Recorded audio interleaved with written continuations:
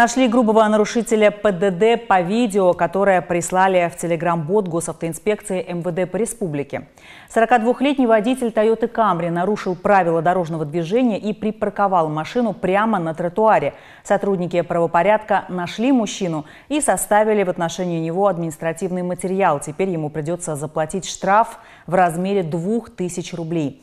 Напомню, если вы стали свидетелем нарушения правил дорожного движения, присылайте видео в телеграм-бот госавтоинспекции МВД по республике. Собака без ДТП 05, нижнее подчеркивание, бот.